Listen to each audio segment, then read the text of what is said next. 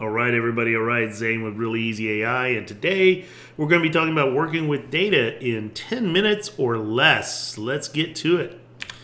So, uh, not to bury the lead, let's jump right into it. Let's assume you have a spreadsheet or some comma delimited data or something with some data in it, like I'm about to do here, and you want to analyze it. Well, you could literally just take any data. In this case, I have some bike share data where you know, if you've ever been to the city, they have those bikes you can rent and you can ride them somewhere else and put them in these little uh, parking places and all that. That's what this is bike share data. I think it's from Seattle. And I'm just going to give it the um, comma delimited file in this case, or it can be a spreadsheet or anything else. It really doesn't matter what it is. And I'm going to say uh, do a full data analysis on this file. And so that's super vague. I'm not really being specific about what I want. I'm just saying do a full data analysis on this file, and right away it jumps in going, okay, great. Here's the columns you have. It, it enumerates the columns and the values in those columns.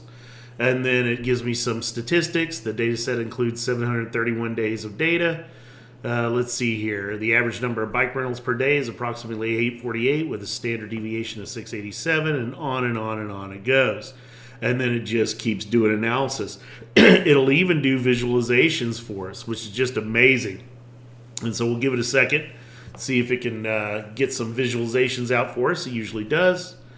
And there they go. Boom, visualizations. Very cool. Isn't that nice? Look how beautiful that is. So distribution of bike rentals uh, uh, here. What does that look like?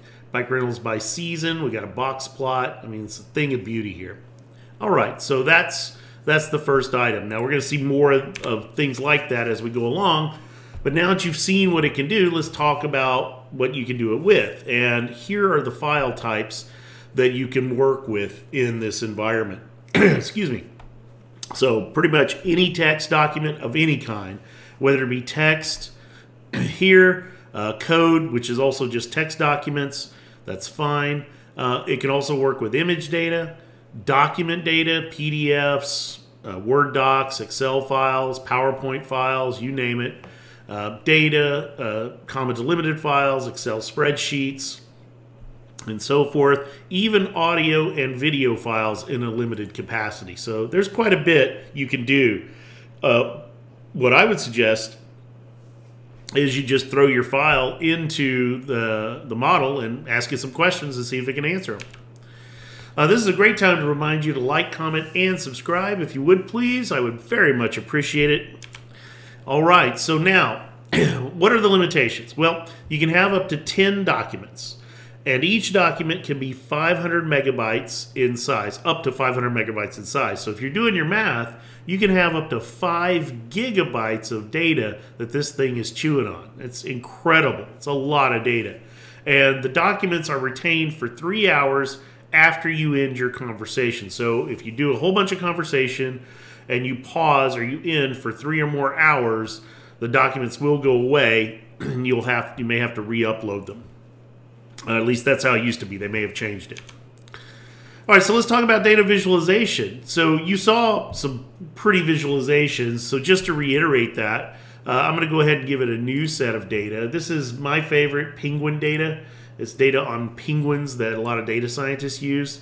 And uh, what I'm going to say here is I'm going to say uh, do a full uh, clean and analysis of this data. Let me just grab my prompt here. Um, and give me all possible visualizations. So in this case, I'm going to literally ask for visualizations after it uh, creates and cleans the data. So it's going to go in, figure out what the data looks like, see if any data is missing, figure out what to do with that missing data, um, that's what I mean by clean it.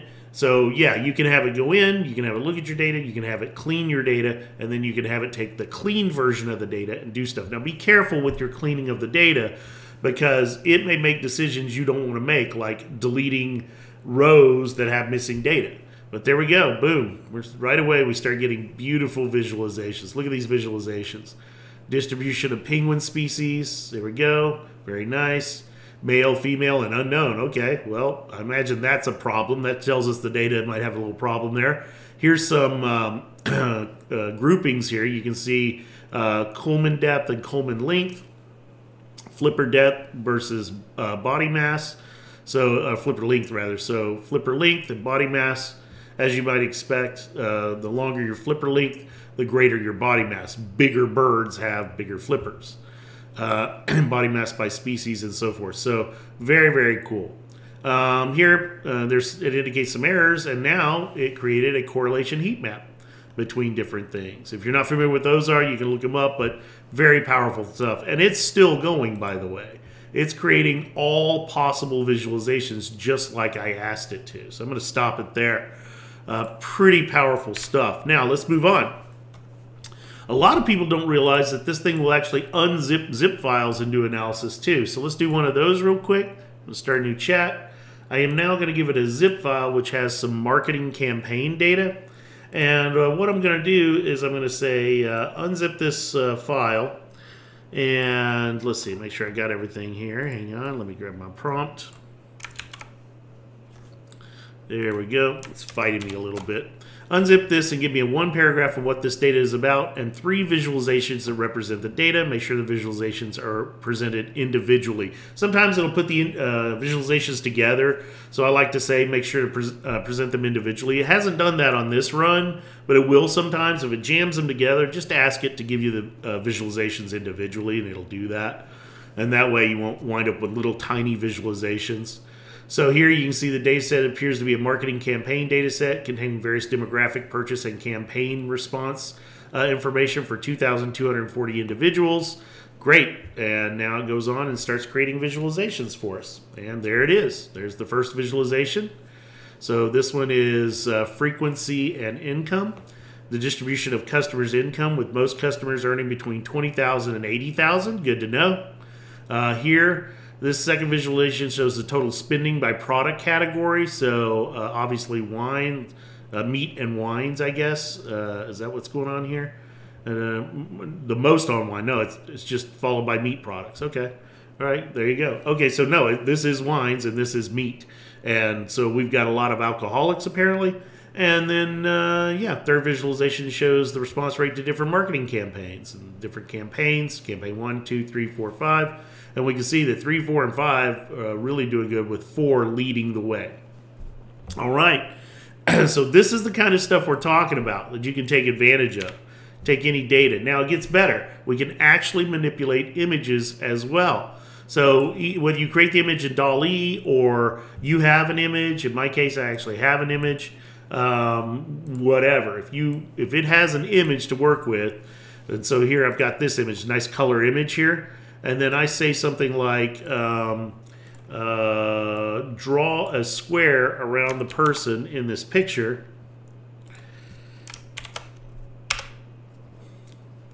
Uh, it has spatial awareness and will actually draw a square around the person in the picture. Now, it's not always perfect. I'm going to warn you up front, but lately it's gotten a whole lot better. So let's take a look, see if it succeeded. Okay. Mm, pretty close, not quite there, so I might try regenerating it. Uh, let's let's try it again. Sometimes it does really well, and sometimes it doesn't do so well. I'll only give it two shots, and then we'll we'll go from there. You may may take a shot or two to do it, and I just regen that time. So let's try that one again. Uh, nope, nope, it's a fail. Okay, well, you saw the square. Sometimes it works, sometimes it doesn't. But here's something that does work. If I tell it now to make the picture black and white, it will do that as well. So let's say you really get a really good picture and you don't want to risk regenerating it. Um, this thing will do stuff like you know pretty simple stuff, but it'll it'll do things like make it black and white. So there we go. Whoa, it is well, okay. Wrong thing. Hang on, that's my slide deck. Where did it go? There it is. Come on. There we go. It's giving me a hard time. There it is. It's black and white. Very cool. Very cool. All right. Uh, last but not least, we've got, uh, whoops, oh, that was it. I meant to have one more thing. Did I miss it? I think I did. Well, okay. Uh, let's go ahead and do one more thing just for fun, and that is documents. I actually have a story here by Ray Bradbury, The Veldt, assuming I can get it dragged over and I could ask you questions like uh, how many words are in this document and uh, I'll just do it all in one shot. I'll just say how many words are in this document and how many times does the word lions appear, lion or lions appear. Give me the page number and sentence each word is in. So there's 4,267 words. The words lion or lions appear, and then it gives me the page number and the sentence as it goes. And that's it. A little over 10 minutes. Apologies, but uh, there you have it. Pretty cool stuff you can do with uh, the ChatGPT 4.0. This is Zane. Have a good one. And I'll see you next time.